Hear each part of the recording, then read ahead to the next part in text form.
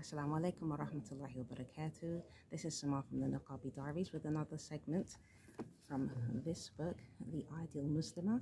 And the link to this book, the PDF version, is in the description box, inshallah, if you'd like to read it along with me. Barakallahu feekum. So this section is She Observes Nafil Fasts.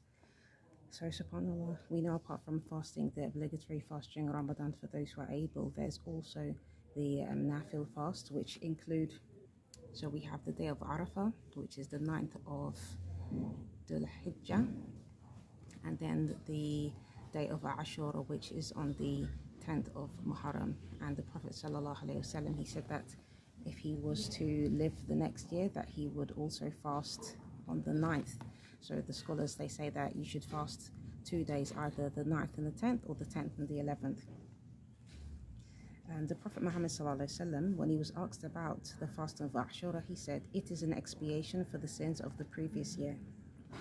And regarding the day of Arafah as well, it is also an expiation for the sins of the previous year and the current year, subhanAllah. So it's well worth trying your best to fast in these days. And also, apart from these days, we also have the six days of Shawwal, um, which is highly recommended for um, any Muslim who is able to fast after Ramadan to also fast for those six days. And it's narrated in a hadith that Abu Darda said, My beloved friend, i.e. the Prophet ﷺ, he advised me to do three things that I will never give up as long as I live. To fast three days of each month, to pray duha, which is the salah after the sunrise and before dhuhr, and not to sleep until I have prayed witr. So subhanAllah, these three things he was advised from the Prophet Muhammad wasallam, which he kept doing it until his death.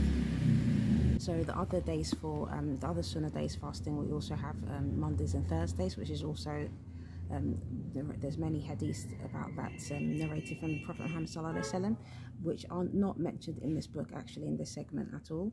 Um, but you know these are these are commonly known that the Prophet Muhammad wasallam recommended fasting on Mondays and Thursdays.